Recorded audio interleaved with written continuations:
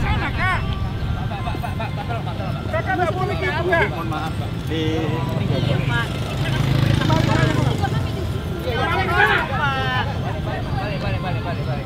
Jangan cari aja Bu, mohon maaf.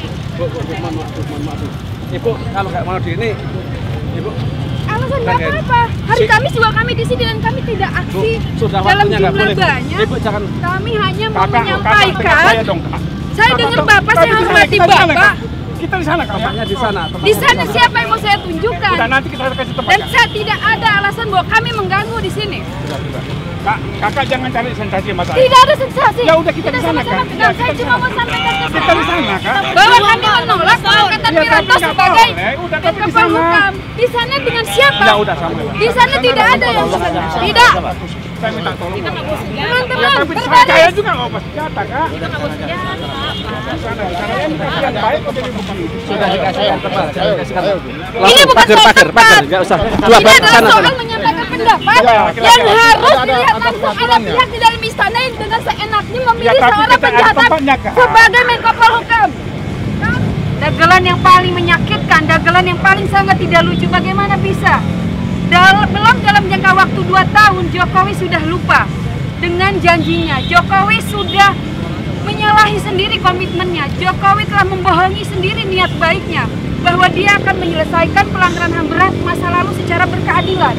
Nawacita mencatat itu, RPJMN mencatat itu, tetapi tindakan yang diambil sama sekali tidak ada hubungannya dengan Nawacita dan RPJM dengan yang diduga bertanggung jawab terhadap kejahatan kemanusiaan di Timur Leste, kejahatan kemanusiaan dalam peristiwa penculikan, peristiwa 27 Juli, dan ingat, internasional Amerika pernah menolak kedatangan Wiranto karena alasan dia terlibat dalam sejumlah pelanggaran hak asasi manusia, khususnya di Timur Leste. Dan juga serius crime, sebuah unit, satu unit eh, kemanusiaan, suatu sebuah unit yang bekerja untuk menginvestigasi kasus-kasus kejahatan di Timur Leste sudah memerintahkan agar Wiranto menjadi salah satu orang yang ditahan, yang ditangkap untuk dimintai pertanggungjawaban atas pelanggaran HAM yang terjadi di Timur Leste.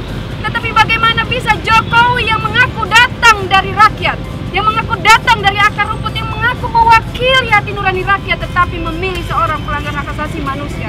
Ini adalah dosa terbesar Jokowi ketika belum dua tahun dia sudah berani mengkhianati segala amanat yang diberikan kepada rakyat. Oleh karena itu pada hari ini dengan tegas kami nyatakan, segera batalkan pengangkatan Wiranto sebagai Menko Polhukam.